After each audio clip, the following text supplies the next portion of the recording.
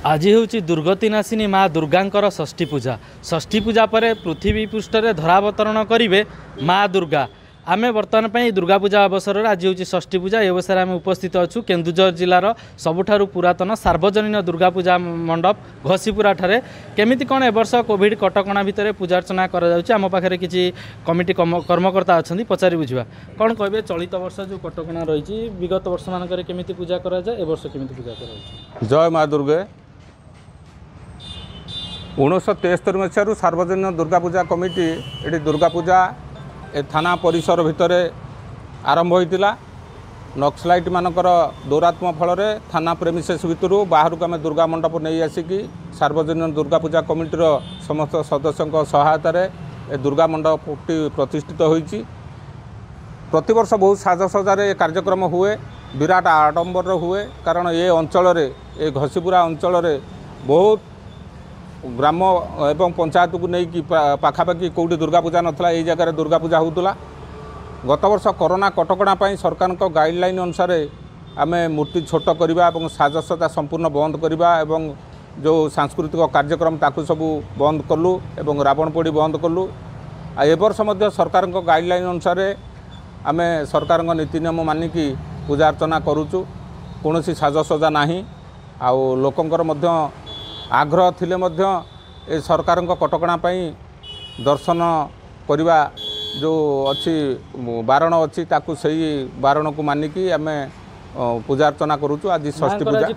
ଆଜି ଆଜି ହେଉଛି ଷଷ୍ଠୀ ପୂଜା। ଆଜି ସନ୍ଧ୍ୟାବେଳେ ବିଲବରଣ ହେବ। କାଲି ସପ୍ତମୀ ପୂଜା। ସକାଳୁ କଳସ ଆସିବ ଏବଂ ପୂଜା ପୂଜା ଅର୍ଚ୍ଚନା ଚାଲିବ। ପନ୍ଦର ତାରିଖ ଦଶହରା ଅଛି। ତା ପରଦିନ ଭସାଣି ଅଛି। ଭସାଣି ମଧ୍ୟ ପୁରା ମାନେ ନିରାଡ଼ମ୍ବରରେ କରାଯିବ। ଏଇଭଳି ବିଧି ବିଧାନରେ ଆମେ ପୂଜା କମିଟିର ସମସ୍ତ ସଦସ୍ୟ ମ- ମିଟିଂ କରିକି ନି- ସରକାରଙ୍କ ଗାଇଡ଼ଲାଇନ୍ ମାନିକି ନିଷ୍ପତ୍ତି ନେଇଛୁ। ସରକାରଙ୍କ ଗାଇଡ଼ଲାଇନ୍ ମାନିକି ପୂଜା ଅର୍ଚ୍ଚନା କରିବୁ। ନିହାତି ଭାବରେ ଯାହା ଆମେ ଶୁଣୁଥିଲେ ସରକାରଙ୍କର ଯେଉଁ କଟକଣା ରହିଛି କଟକଣା ମାନିକି ସାର୍ବଜନୀନ ଦୁର୍ଗା ପୂଜା କମିଟି ତରଫରୁ ଦୁର୍ଗା ପୂଜା ଆୟୋଜନ କରାଯାଉଛି।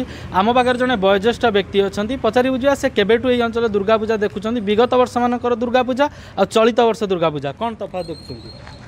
ଏଇ ଦୁର୍ଗା ପୂଜା ହେଉଛି ପ୍ରଥମ ଘଷିପୁରା ଥାନା ଯେତେବେଳେ ଏଠି ନିର୍ମାଣ ହେଲା ସେତେବେଳୁ ଏଇ ଦୁର୍ଗା ପୂଜା ଆରମ୍ଭ ହୋଇଛି ଏବଂ ତା କଡ଼ରେ ମା କଦଳୀ ଠାକୁରାଣୀ ଅଛନ୍ତି ଯାହାକି ଏଣ୍ଡାମେଣ୍ଟ ଗଭର୍ଣ୍ଣମେଣ୍ଟର ତା କଡ଼କୁ ଗୋଟେ ସବୁ ରକମ ମୂର୍ତ୍ତି ରହିଛି ବୌଦ୍ଧ ମୂର୍ତ୍ତି ରହିଛି ଇଏ ଗୋଟେ ପବିତ୍ର ସ୍ଥାନ ଏ ସ୍ଥାନରେ ଦୁର୍ଗା ମଣ୍ଡପ ତିଆରି ହେଲା ମନ୍ଦିର ତିଆରି ହେଲା ବସ୍ଷ୍ଟାଣ୍ଡ ପାଖ ଏବଂ ରାସ୍ତା ପାଖରେ ଏବଂ ଘଷିପୁରା ବ୍ଲକର ପ୍ରତ୍ୟେକ ପଞ୍ଚାୟତର ଲୋକ ଏ ଦୁର୍ଗା ପୂଜାକୁ ଅନୁଭବ ଆସିକି ଦର୍ଶନ କରନ୍ତି। କେମିତି କ'ଣ ଆୟୋଜନ କରାଯାଏ କିପରି ଭାବେ ପାଳନ କରାଯାଏ? ଏ- ଏ ସବୁ କମିଟି ବାଲା ସବୁ ମିଶିକି ସମସ୍ତଙ୍କର ସହଯୋଗରେ ସାର୍ବଜନୀନ ଅ, ଦୁର୍ଗା ପୂଜା କହିଲେ ଅତ୍ୟୁକ୍ତି ହେବ ନାହିଁ।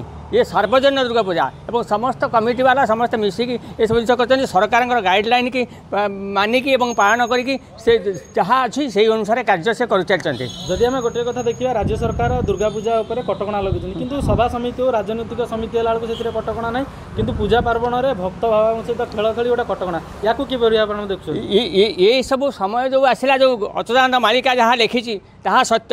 ବର୍ତ୍ତମାନ ଯେଉଁ କାର୍ଯ୍ୟ ଚାଲିଛି ବର୍ତ୍ତମାନ ମାନେ ସିଏ ସ- ତାଙ୍କର କ୍ଷମତା ଅଛି ସରକାର ଅଛନ୍ତି ବୋଲି ସେମାନେ ଯେଉଁଠି ଯାହା କରିଯିବା କଥା କରିଯିବେ। ସେଥିରେ କିଛି ନା ବାଦ- ବାରଣ ନାହିଁ। କିନ୍ତୁ ଜନସାଧାରଣ ଗୋଟେ ଦର୍ଶନ କରିବେ ଠାକୁରଙ୍କ ଇଏରେ ଗୋଟେ ହେବ ଗୋଟେ ପବିତ୍ର ସ୍ଥାନରେ ଗୋଟେ କାର୍ଯ୍ୟ ହେବ ଯାହାକି ଆଧ୍ୟାତ୍ମିକ ଚିନ୍ତାଧାରା ପର୍ବ ଏବଂ ପରିବ- ପ- ପରିବର୍ତ୍ତନ ରୂପ ଆଣିବ ଏବଂ ସବୁ ଅ, ଜାଗା ଗୁଡ଼ା ସବୁ ଏପଟ ସେପଟ ଯେଉଁ ଅଛି ତାକୁ ଠିକ୍ ବାଟରେ ଆଣିବା ପାଇଁ ଏ ଦୁର୍ଗା ମଣ୍ଡପ ପୂଜା କରୁଛନ୍ତି ତାହା କରୁଛନ୍ତି। ତାକୁ ଏ ବାଧାପ୍ରାପ୍ତ ଯେଉଁ କରାଯାଇଛି ମନ୍ଦିର ଯେଉଁ ବନ୍ଦ ହେଇକି ରହିଛି ବର୍ତ୍ତମାନ ଇଏ ଗୋଟେ ଅଘଟଣ ଅ, ସୂଚନା ଦେଉଛି ଅଶୁଭ ସୂଚନା ଦେଉଛି ଭାର- ଭାରତବର୍ଷର ପ୍ରତ୍ୟେକ ଆଗାମୀ ରାଜ୍ୟରେ। ଦିନରେ କ'ଣ ଆଶା କରିବା?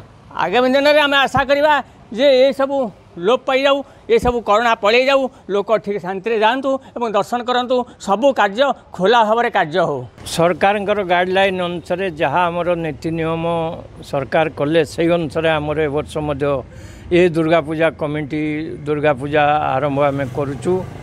ପ୍ରତ୍ୟେକ ମେମ୍ବରଙ୍କର ଆମର ସ୍ୱ ଇଚ୍ଛାରେ ଯାହା ଦାନ ଦିଆହେଉଛି ସେ ଅନୁସାରେ ଆମର ପୂଜାରେ ଖର୍ଚ୍ଚ କରାହେଉଛି। ଏଥିରେ ଆମର କିଛି ବାଧାବିଘ୍ନ ନାହିଁ କିମ୍ବା ଅନ୍ୟାନ୍ୟ କିଛି ନାହିଁ।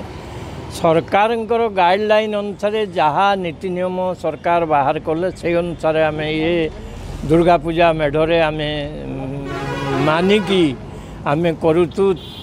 ତିନି ପଟ ମନ୍ଦିରର କଭର୍ କରାହେଇଛି ଏବଂ ଫ୍ରଣ୍ଟ ପଟ ଖୋଲା ରଖିଛୁ। ଫ୍ରଣ୍ଟକୁ ଫେର ବାରିକେଡ଼ କରିକିରି ଜନସାଧାରଣଙ୍କୁ କୋଭିଡ଼ ନିୟମ ଅନୁସାରେ ଆମେ ଜଣେ ଜଣେ ଦେଖି ଯେଉଁ ଅନୁସାରେ ଆମେ ମାଆଙ୍କ ପାଖକୁ ଛାଡ଼ିବୁ ଭୋଗରାଗ ଲଗେଇକି ତାଙ୍କର କିନା ଭୋଗ ଦେଇକି ତାଙ୍କୁ ବିଦା କରିବୁ ଏହା ହିଁ ଏ ବର୍ଷର ଆମର ଦୁର୍ଗା ପୂଜାର ନୀତି ନିୟମ।